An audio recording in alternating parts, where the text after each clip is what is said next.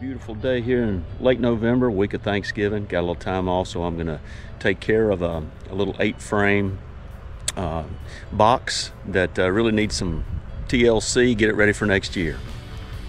I'm just gonna grab it and uh, I started noticing all the paint was coming off this side all flaked up and looking bad.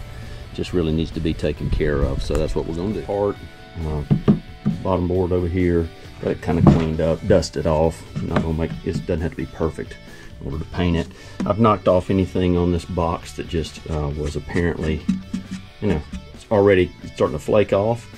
Uh, you can see this is the box where, I don't know if you can see this or not, but see all these little check marks on the inside of the wood? That is what wax moths will do to the inside of your box when they start to hatch. This little box is just using the same paint I use on, gotta match them up, not, you don't have to, but uh, I got some just regular exterior paint. Um, I'll go around and start putting a good base coat on these things and uh, really that's all it takes. You don't even have to paint them every year, uh, I wouldn't think, but um, you can tell some of these just need a little bit of help. And that's what we're gonna do. So I'll go around and get a base coat on each side of these.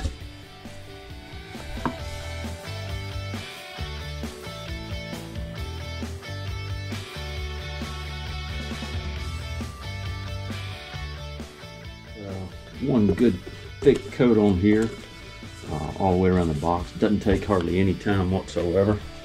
I'm just gonna go around it and kind of be a little bit thicker with everything all the way.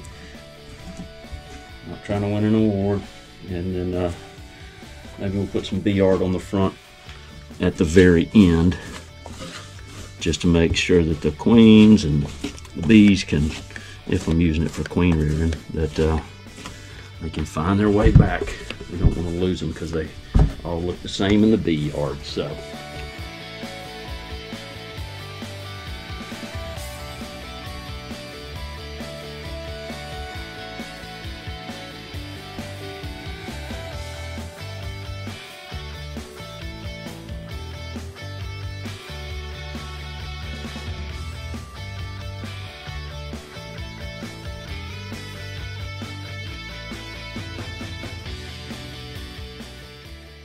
I'm coming along with the bottom board now. Almost got it knocked out. So um, one thing I read about was, uh, you know, you don't have to use a certain color for a beehive either. You can use anything you want. I mean, white stands to be a little bit more cool if you're in the south like I am.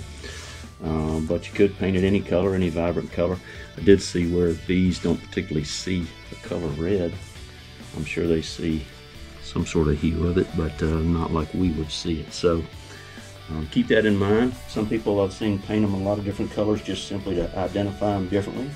And like I draw the art on them, uh, I think they do that just to give the bees the ability to find a way back when they have a yard full of beehives. So I think that's always a good idea. But you put a lot into these bees, you don't want the queen to if she's out on a mating flight or something, you don't want her to come back after being mated and then fly in the wrong box. That would not go well for her. So, okay, well I have finished putting coats on these. Just finished up the top here. That's probably the toughest just because it's got an edge of that stainless.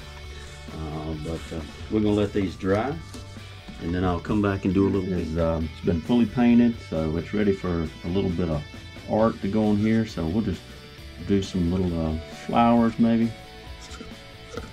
Something fun. Uh, with some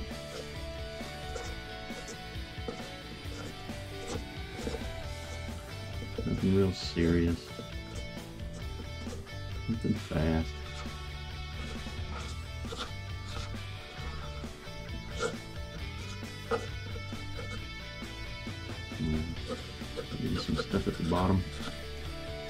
Opening. Flower up top.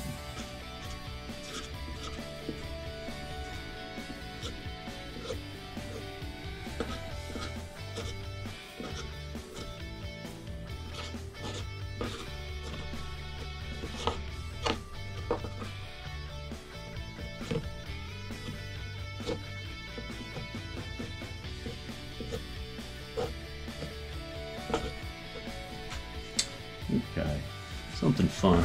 All right, so that'll give the bees a little area to be able to come up, see what's going on, uh, identify their little hive, and um, something fun on the front.